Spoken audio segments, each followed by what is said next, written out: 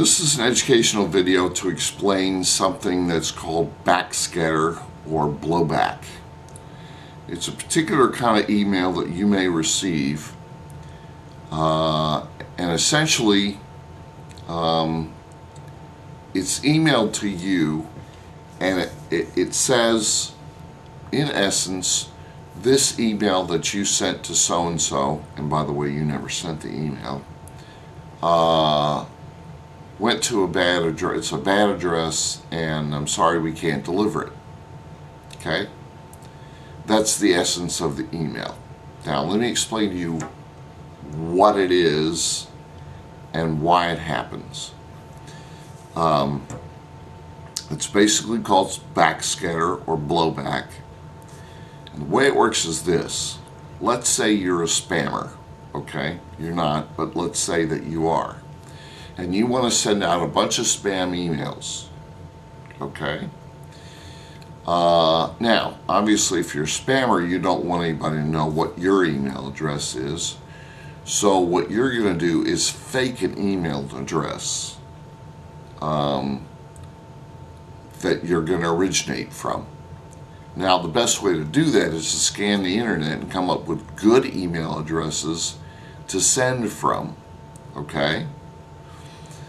So that's what you do. If you're a spammer, you come up with good, you scan the internet, you come up with good email addresses.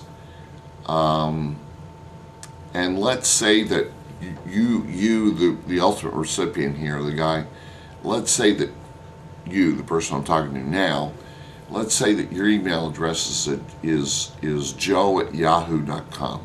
All right? Mr. Spammer comes up with your email address, joe at yahoo.com. And he picks you. He, what he does is he pretends he's you. He sends a bunch of spam out, but he sends it out with you as the sender. Okay? So he's sending out a bunch of email, and it's all spam. And he sends it to a bunch of people at, say, Comcast. Okay? And one of the people that he sends it to is sam at comcast.net. All right? Now, there's various things that can happen.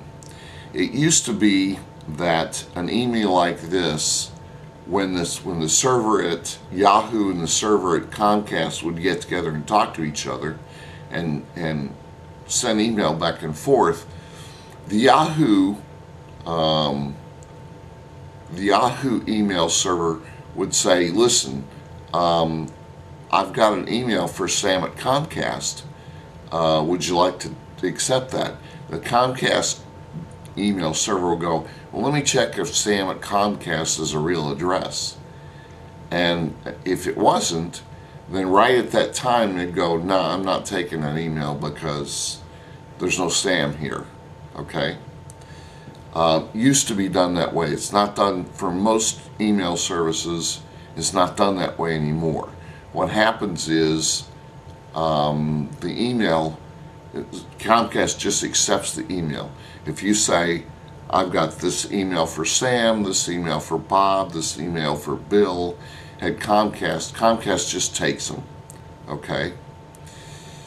Now, here's the next thing that happens Comcast has got a whole network of computers, all right? And it hands this email for that for Sam and Comcast off to its other computers. And they do a bunch of checking to see if Sam is a valid address. Okay? They've already accepted the email. So now they look to see if Sam's in their network, in the Comcast network. Come to find out, there is no Sam at Comcast.net. Now, if the people at Comcast have configured their email servers the wrong way, here's the next thing that happens. They have two choices at this point. They can either drop the email because there is no Sam at Comcast, or they can bounce it. So, um, the more common practice today is just drop the email. Sam's not here, just drop it. But occasionally an email server will get configured so that it bounces the email back. And here's what happens. When it's configured to do that, it sends a message back to the seeming, or in your case, forged sender, which is you, Joe at, at uh, what was it, yahoo.com.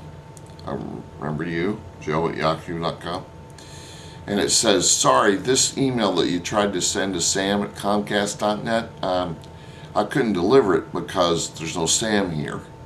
So sorry about that, uh, but that's the way it is.